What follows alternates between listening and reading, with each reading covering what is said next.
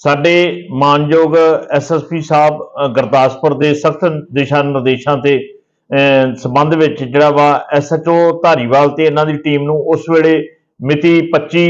7 23 ਦੀ ਰਾਤ ਨੂੰ ਜਿਹੜੀ ਆ ਉਸ ਵੇਲੇ ਭਾਰੀ ਸਫਲਤਾ ਮਿਲੀ ਜਦੋਂ ਇਹਨਾਂ ਨੇ ਕਲਿਆਣਪੁਰ ਮੋੜ ਦੇ ਉੱਤੇ ਜਿਹੜਾ ਵਾ ਮਾੜੇ ਅੰਸਰਾਂ ਦੇ ਸੰਬੰਧ ਦੇ ਵਿੱਚ ਜਿਹੜਾ ਨਾਕਾ ਲਗਾਇਆ ਹੋਇਆ ਸੀ ਤੇ ਤਿੰਨ ਜਿਹੜੇ ਲੜਕੇ ਆ ਉਹ ਜਿਹੜੇ ਇੱਕ ਸਪਲੈਂਡਰ ਮੋਟਰਸਾਈਕਲ ਦੇ ਆਏ ਜਿਹਦਾ ਉੱਤੇ ਮੋਟਰਸਾਈਕਲ ਦੇ ਉੱਤੇ ਕੋਈ ਨੰਬਰ ਨਹੀਂ ਸੀ ਲੱਗਾ। ਤੇ ਉਹਦੇ ਕੋਲੋਂ ਜਿਹੜਾ ਸਖਤੀ ਨਾਲ ਇਹਨਾਂ ਕੋਲੋਂ ਪੁੱਛਗਿੱਛ ਕੀਤੀ ਤੇ ਇਹਨਾਂ ਦੱਸਿਆ ਵੀ ਇਹ ਮੋਟਰਸਾਈਕਲ ਵੀ ਅਸੀਂ ਜਿਹੜਾ ਚੋਰੀ ਕੀਤਾ ਹੈ। ਜਦੋਂ ਇਹਨਾਂ ਦੀ ਤਲਾਸ਼ੀ ਜਿਹੜੀ ਆ ਕੀਤੀ ਗਈ ਆ, ਤਾਂ ਇੱਕ ਦੇ ਡੱਬ ਦੇ ਵਿੱਚੋਂ ਜਿਹੜਾ ਵਾ ਉਹ ਪਿਸਟਲ ਬਰਾਮਦ ਹੋਇਆ ਵਾ, ਜਿਹਦਾ ਇਹ ਕੋਈ ਲਾਇਸੈਂਸ ਨਹੀਂ ਪੇਸ਼ ਕਰ ਸਕੇ, ਜਿਹੜਾ ਬਿਲਕੁਲ ਨਜਾਇਜ਼ ਸੀਗਾ। ਤੇ ਜਿਹਦੇ ਸਬੰਧ ਦੇ ਵਿੱਚ ਇਹ ਜਿਹੜੇ ਦੋਸ਼ੀਆਂ ਦੇ ਜਿਹੜੇ ਨਾਂ ਪਤੇ ਪੁੱਛੇ ਆ, ਪਹਿਲੇ ਨੇ ਆਪਣਾ ਨਾਮ ਜਿਹੜਾ ਵਾ ਦੇਵ ਕੁਮਾਰ ਉਰਫ ਦੇਬੂ, ਸਾਨ ਆਫ ਲక్ష్ਮੀ ਨਾਰਾਇਣ ਦੂਸਰੇ ਨੇ ਆਪਣਾ ਨਾਮ ਅਜੇ ਕੁਮਾਰ, ਸਨ ਆਫ ਵਿਸ਼ਨੂੰ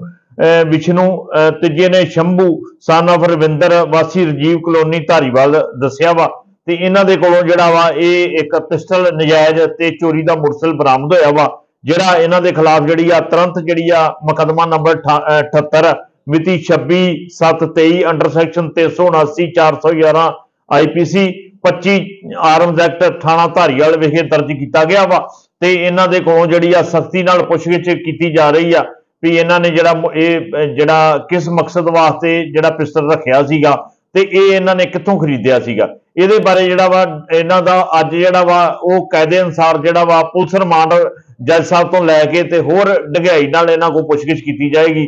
ਤੇ ਇਸੇ ਮੱਦੇ ਨਜ਼ਰ ਹੀ ਆਪਣਾ ਜਿਹੜੇ ਮਾੜੇ ਅੰਸਰਾਂ ਦੇ ਸੰਬੰਧ ਦੇ ਵਿੱਚ ਹੀ ਜਿਹੜੀ ਆ ਐਸਐਚਓ ਸਾਹਿਬ ਜਿਹੜੇ ਆਪਣੀ ਪੁਲਿਸ ਪਾਰਟੀ ਦੇ ਨਾਲ ਧਾਰੀਵਾਲ ਸ਼ਹਿਰ ਦੇ ਵਿੱਚ ਗਸ਼ਤ ਕਰ ਰਹੇ ਸੀ ਤੇ ਇੱਕ ਜਿਹੜੇ ਅਹ, ਦੋ ਵਿਅਕਤੀ ਸੀਗੇ ਜਿਨ੍ਹਾਂ ਨੇ ਜਿਹੜਾ ਮੋਬਾਈਲ ਸਨੈਚ ਕੀਤਾ ਸੀ ਖੋਇਆ ਸੀਗਾ ਤੇ ਉਸ ਵੇਲੇ ਤੁਰੰਤ ਪੁਲਿਸ ਨੇ ਹਰਕਤ ਵਿੱਚ ਆ ਕੇ ਇਹਨਾਂ ਦੋਵਾਂ ਨੂੰ ਵੀ ਤੁਰੰਤ ਜਿਹੜਾ ਵਾ ਜਿਨ- ਜਿਨ੍ਹਾਂ ਨੇ ਮੋਬਾਈਲ ਸਨੈਚ ਕੀਤਾ ਸੀ ਇਹਨਾਂ ਦਾ ਨਾਮ ਜਿਹੜਾ ਇੱਕ ਦਾ ਨਾਮ ਮਨਿੰਦਰ ਸਿੰਘ ਤੇ ਦੂਜੇ ਦਾ ਨਾਮ ਕੁਲਦੀਪ ਸਿੰਘ ਆ ਦੋਨੋਂ ਘੁੰਮਣ ਕਲਾਂ ਦੇ ਖੁਰਦ ਪਿੰਡ ਦੇ ਆ। ਇਹਨਾਂ ਦੇ ਕੋਲੋਂ ਜਿਹੜਾ ਖੋਇਆ ਹੋਇਆ ਸਨੈਚ ਕੀਤਾ ਮੋਬਾਈਲ ਵੀ ਉਸੇ ਵੇਲੇ ਰਿਕਵਰ ਕੀਤਾ ਜਿਹੜਾ ਇਹਦੇ ਸਬੰਧ ਵਿੱਚ ਇਹਨਾਂ ਦੋਨਾਂ ਦੇ ਖਿਲਾਫ ਮੁਕੱਦਮਾ ਨੰਬਰ 77 ਜਿਹੜਾ ਵਾ ਥਾਣਾ ਧਾਰੀਵਾਲ ਵਿਖੇ ਦਰਜ ਕੀਤਾ ਗਿਆ ਵਾ ਤੇ ਇਹ ਜਿਹੜੀ ਧਾਰੀਵਾਲ ਥਾਣੇ ਦੇ ਐਸਐਚਓ ਸਾਹਿਬ ਦੀ ਜਿਹੜੀ ਮਿਹਨਤ ਆ ਉਹ ਰੰਗ ਲਿਆਈ ਆ ਤੇ ਬਹੁਤ ਹੀ ਇਹਨਾਂ ਨੂੰ ਜਿਹੜੀ ਇਹਦੇ ਵਿੱਚ ਸਫਲਤਾ ਮਿਲੀ ਆ ਤੇ ਅੱਗੋਂ ਤੋਂ ਵੀ ਜਿਹੜਾ ਵਾ ਅਸੀਂ ਜਿਹੜੇ ਮਾੜੇ ਅੰਸਰ ਆ ਉਹਨਾਂ ਨੂੰ ਸਖਤ ਤਾੜਨਾ ਕਰਦੇ ਆ ਕਿ ਅਗਰ ਕਿਸੇ ਨੇ ਵੀ ਕੋਈ ਖੋਹ ਕੀਤੀ, ਕਿਸੇ ਨੇ ਕੋਈ ਨਸ਼ਾ ਵੇਚਿਆ, ਕੋਈ ਮਾੜਾ ਕਰਮ ਕੀਤਾ ਜਾਂ ਕੋਈ ਨਜਾਇਜ਼ ਵੈਪਰ ਰੱਖਿਆ,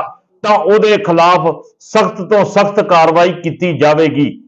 ਬੜੇ ਗਏ ਜਿਹੜੇ ਬੰਦੇ ਆ ਉਹਨਾਂ ਦਾ ਪਿਛੋਕੜ ਕੀ ਹੈਗਾ? ਗਾ? ਪਹਿਲਾਂ ਵੀ ਕ੍ਰਿਮੀਨਲ ਹੈਗੇ ਤੇ ਹਾਂਜੀ ਉਹਦੇ ਬਾਰੇ ਵੀ ਤਸਦੀਕ ਕਰ ਰਹੇ ਆ ਇਹਨਾਂ ਦਾ ਇੱਥੋਂ ਵੀ ਜਿਹੜਾ ਅਸੀਂ ਰਿਕਾਰਡ ਚੈੱਕ ਕਰਕੇ ਦੇਖ ਰਹੇ ਆ ਇਹਨਾਂ ਦੇ ਖਿਲਾਫ ਕੋਈ ਪਹਿਲਾ ਮੁਕੱਦਮੇ ਦਰਜ ਆ। ਤੇ ਇਸ ਤੋਂ ਇਲਾਵਾ ਹੋਰ ਥਾਣੇ ਪੰਜਾਬ ਦੇ ਵਿੱਚ ਥਾਣਿਆਂ ਦੇ ਵਿੱਚ ਵੀ ਜਿਹੜਾ ਅਸੀਂ ਚੈੱਕ ਕਰ ਰਹੇ ਆ ਇਹ ਵੀ ਤੁਹਾਨੂੰ ਅਸੀਂ ਜਲਦੀ ਹੀ ਦੱਸਾਂਗੇ ਇਹਨਾਂ ਦੇ ਖਿਲਾਫ ਕਿੰਨੇ ਪਰਚੇ ਦਰਜ ਆ। ਤੁਸੀਂ ਇਲੀਗਲ ਵੈਪਨ